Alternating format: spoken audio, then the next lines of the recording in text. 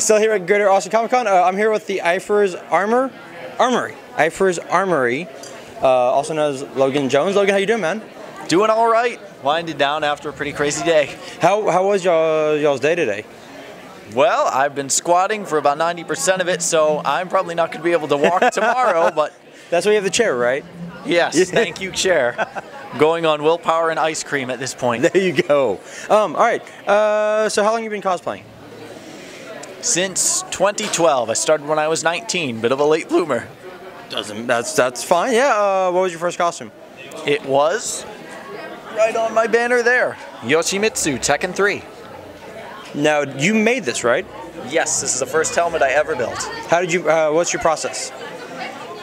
I took it actually on this head form here. Oh wow, really? Yes, I I glued a bunch of cardboard and tinfoil to it in the rough shape of the helmet. I covered that in clay just to really get all the details in. Covered that in plaster bandages, and then covered that in fiberglass. And then did the whole shebang, pop it off the head form, sand it down smooth, and paint it. How long did something like this take you? The helmet alone, I think, took me a month. Really? It was the first time I'd ever done Oh. anything like this. Fair enough. Figuring everything out as I was doing it. But I think it turned out pretty good for a first go. Uh, yeah, that's amazing. Now, obviously, you're older Spidey from uh, Into the Spider Verse. Yes, I think it's probably one of the easier cosplays to do. certainly. Although, although you looks like you did make your the Spidey suit itself. I did. There's a bit of a tale behind this, actually. Tell the audience. This was originally intended just to be a complete custom-made Spidey suit. I've got this is specialty spandex mesh fabric. I don't even know what this is. I found it on Etsy, but it's not just flat shiny spandex. I wanted something to look really wow. Unfortunately, I ended up sewing it too small, so this is really tight and short on me. It ends. Oh here. wow! So I figured I'm not gonna keep making a suit that won't fit me when I'm done. But I come this far, might as well use it for something. There you go. Mm, it And works. and and, and drops and the Spider Verse drops into your lap. And you're like perfect. And these sweatpants are even from New York, Rochester Institute of Technology. Oh, all right, nice. You're a true New Yorker. There we go. Well, you are from New York, yes. so you're Spidey through and through. Then I've been to New York City twice in my life, so I guess that counts. there you go. Well, you from? I mean, you're from the state of New York, right? You're from Rochester. There you go. Close enough. Close enough. We'll take it. Um, what's your what, What's been your uh, favorite cosplay so far? Would probably be my latest Yoshimitsu. Not him, but the Soul Calibur 6 iteration. Okay. I just made that one last year.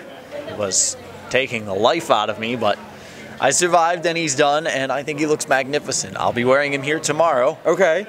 and I'll be judging the cosplay contest with Really? my good friend Jack Sparrow. Very cool. What do you okay now when you when you're judging cosplay? Like, what do you look for? Like, how, how do you judge? Personally, because I, I know that I'm a horrible judge. I'm like, that's awesome, that's awesome. I can't do any of it, so I'm the worst. I'd be the worst judge. I probably the biggest thing I focus on silhouette. Really? Silhouette comes first, everything else for me comes secondary. the first thing you notice, just the basic outline, if it exudes whoa, power, presence, or if it looks like the character you're portraying. You know, maybe giant shoulders out three feet on each side. like that's hard to ignore. Like, whoa, he's got my attention. Draw you in, look for the finer stuff, maybe stitching, Right. blue marks, paintwork. I'd say paintwork is a hard second after silhouette. Okay. I don't know if this is a good example, but I tried to get the paint to really pop on this.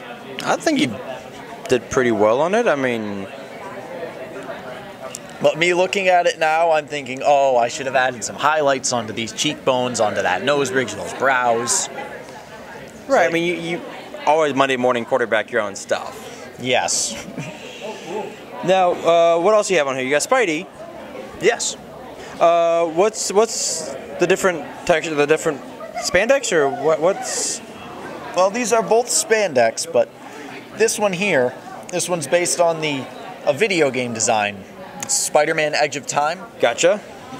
This one is just plain lycra spandex, smooth, shiny, craft foam lenses, plastic mesh Damn. with a craft foam face shell underneath, custom made. Oh, damn. Okay. Whereas this one, this is made from the same material as the shirt actually. It's, Right. It's a spandex sports mesh. No. I got it mainly for the texture on it. It's Okay. not completely smooth. It has a bit more visual interest and ventilation is really good. I can imagine that's important when you're playing Spider-Man. Yes, not quite as stretchy as plain spandex, so I have a little panel of normal lycra in the back here for extra stretchability so I can get my face in there. Okay. And the lenses are actually cut from soda bottle tops. Just the big two liter plastic bottles. And there's a, a chrome mirror tint spray sprayed on the underside, so you can still see through this perfectly. It's like a pair of sunglasses. That's awesome. Mm-hmm. The web lines is just a basic fabric marker. It's meant to be finished off like this here. This is a latex and puff paint blend Gotcha. for stretchability. Uh, I was gonna ask you how you painted, how you did the painting on that, but okay. Very cool. What's uh, what's your next? Okay, so you got the, what's your like next next project? Next, next. Have you thought that far ahead? Are you just like one cosplay like? Well, I don't have any definite plans. I'm probably gonna slow down with costume making a bit after this. Yeah. Focus on some other things, but I'm definitely not gonna abandon it entirely. A dream project of mine has always been Smoke from Mortal Kombat That'd be good. in his cyborg form. That'd be good. Yes, I, I'm a stickler for armor, robots, anything Right. like that.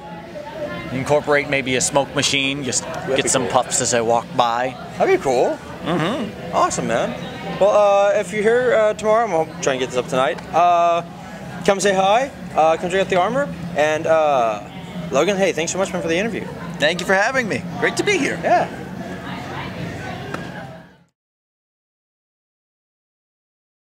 Something more pronounceable, easy to remember, Uh, less German. okay. Let me. Oh, that's really funny intro. Um.